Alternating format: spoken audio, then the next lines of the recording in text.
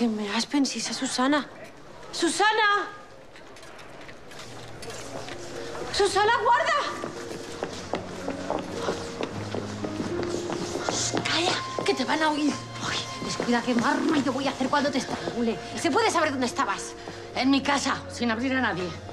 Y por lo que veo tampoco habías hecho mal, Susana. Ha habido novedades. Ayer escribieron en tu escaparate. Ya lo sé. Un guardia vino a informarme.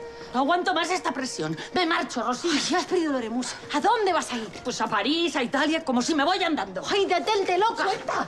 ¡Suelta! Quiero escapar de este tormento que me está corroyendo por dentro. No, ni lo sueñes. No me vas a dejar sola en semejante embrollo. ¡Suelta! Pero... Ah, por fin entras en razón. Susana, ¿qué te pasa? ¿Estás bien? ¿Qué te pasa?